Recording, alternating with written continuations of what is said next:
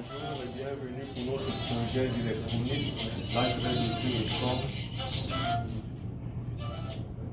D'accord. Là, en fait, nous avons un amplificateur de classe AB push pull. Donc euh, là, tu te rapproches plus près, on va filmer notre maquette pour expliquer euh, notre montage.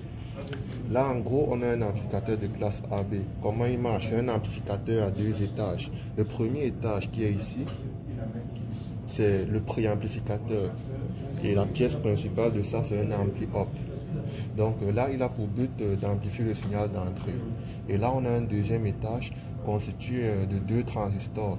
Un transistor NPN pour les alternances positives et un transistor PNP pour les alternances négatives. Il est monté comme suiveur de tension et son rôle va être d'amplifier le courant de sortie. D'accord. Donc euh, là, à l'entrée, on a notre prise audio jack voici. On a qui va à une succession de condos de résistance et ensuite à l'ampli hop. Et à l'ampli hop va amplifier le signal et il va le remettre au deuxième étage. Et le deuxième étage va filtrer le signal. On a les deux diodes de redressement. Ces deux diodes sont là pour euh, euh, résoudre le problème de distorsion. Car avec ce montage, l'avantage d'un montage de classe AB, c'est qu'il corrige les distorsions. Et là, à la sortie, on aura un signal audio qui sera de bonne qualité. Et la puissance de notre amplificateur est de 0,4 watts. La puissance théorique, il est de 0,4 watts. Là, sans trop parler, on va passer euh, au test de notre amplificateur. Là, le signal, il est déjà venu. On a un potentiomètre pour gérer le volume. Là, vous voyez, on augmente le volume.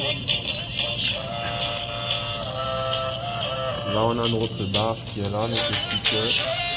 On voit le volume. Euh,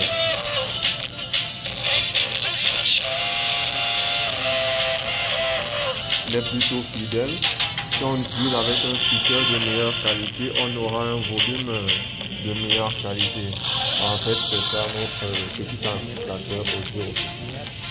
Oui, on peut voir le signal ici qui est recopié on voit bien à la sortie, ça c'est le signal de sortie. Quand il y a un signal, on voit qu'il s'amplifie. À l'entrée, notre signal jack est environ de 200 mV.